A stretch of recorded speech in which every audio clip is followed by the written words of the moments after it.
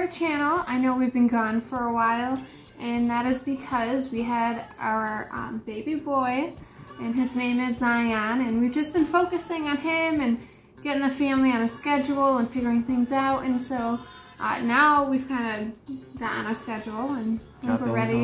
Yeah. On track. Yep. We're ready to um, get back to our Dua family and get some reviews out there. Let's dish these reviews out, baby. Mm -hmm. So here we go. Yeah. As you guys all know, my name is David, and this is my beautiful wife, Becca. Welcome to Change Your Life Fragrances. Hey guys, welcome back to our channel. Make sure you leave a big like if you like this video. Leave a comment and subscribe for more content. And make sure you hit that bell button so we can pop up in your notification system.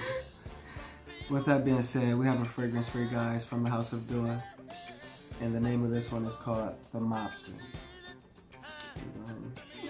This one here is uh, basically an original blend from Dua. And uh, I'll let you carry on with the notes, kind of explain to these guys what's going on. Yeah, so this one is a Boss fragrance. If you want to demand attention, this is what you put on. Um, it's got that agarwood, which is that oud. It's got tobacco, whiskey, uh, patchouli, spicy notes, and sandalwood in it. Mm -hmm. um, but this is just such an amazing, like, cinnamony, uh, boozy, rich, woody, vanilla type mm -hmm. fragrance. It's mm -hmm. it's beautifully done. Yeah. Uh, this one right here is definitely a, a, a boss sprayer, in my opinion. Uh, this is one of the best scents that uh, I've smelled yet from the House of Dua. Um, this one here is, I think, a, a masculine scent. I think it fits um, a man scent profile more yeah, so than a female. Yeah, scent profile. Mm -hmm. So I mm-hmm. think it carries more so. Yeah. That masculine, money, cigar, right. whiskey type of appeal. Mm -hmm. Right. Sends a, bold, a bold statement. Right, absolutely. And as soon as we smelled this, I was like, man, I wish they had a female version of this. Like, it is just so, so good. Um, so and you took it into your hands to do what? so I, I mixed it with Drowning in Vanilla. So mm -hmm. I mm-hmm. made Drowning in Mobster. And this is, it's probably the most number one compliment fragrance I've ever, ever worn. And I agree with you 100% with that. I mean, when she put that combination together, I mean, damn near took me off my feet, you know, uh, woke up in heaven. Uh, it's, it's, it's, a, it's, an absolutely uh, heavenly vanilla uh, scent you know, um, that's at least that's the profile that I get from. Yeah, and I love the vanilla base. Yeah, I love that it has that woodiness to it as well. Mm -hmm. um, the Mobster really does a, a great job at highlighting all the different notes and components, and you can really pick out each one. So they did an amazing job with that. Mm -hmm. So with that being said, uh, if you guys, for women that want to kind of feminize the scent a little bit for themselves, I would add the drowning and the vanilla. Uh, for the guys, it's already prepared for us. Go ahead and uh, you know spray as you please. Yeah. Uh, I don't think this one is too cloying. I don't think you can have too many sprays of this. Uh, I when I wear it, I mean, and I didn't even let it macerate. I, I can't let that stuff macerate. I'm more so. I'm, I'm, I'm, definitely gonna have another bottle of that. But anyhow, uh, I can I can put seven eight sprays on no problem, and it lasts.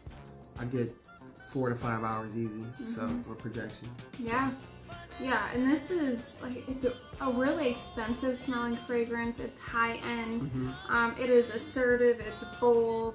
I mean, this is something you definitely want to get your hands on. This is one of the ones I'm probably most excited about from Dua. Yeah, it's uh, individualistic, sophisticated. Mm -hmm. uh, it exudes confidence. So I mean, someone wearing this definitely uh, just have your confidence uh, with you. You mm-hmm. know. Uh, this one here is, it's a masterpiece and Sam did a great job, so. Definitely. Uh, so is this backup bottle worthy for you? Absolutely. Uh, when this stuff comes back in, I would definitely like to order two or three bottles of this. Uh, I think this is more so a cool, uh, cool weather scent, mm-hmm. especially here in Michigan. Uh, it's kind of, it's just so cool all year round. I mean, don't get me wrong, we got our hot, hot summer days. Mm -hmm. I mean, damn you get 100 here. Mm -hmm. So, but with that being said, I mean, we have our below zero, below 10 degrees, and etc.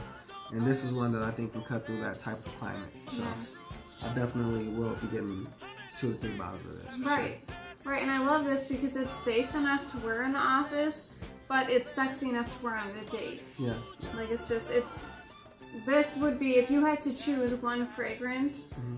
You know, to, if there was only one Dua fragrance that you could have, hmm Yeah, I, I would This say might that, be it, Yeah, like I would say that would definitely be in my top five, top ten uh, favorite Duas of all time. Yeah. So I, w- I would say I'd probably go more so with uh, what is it, Casino Elixir a fortune. or Fortune. Ah. There's so many good ones, so I can't even that's pick. Yeah, yeah, even Aphrodisiac. So I mean, there's just so many good ones. I mean, it's just so hard to pick, guys.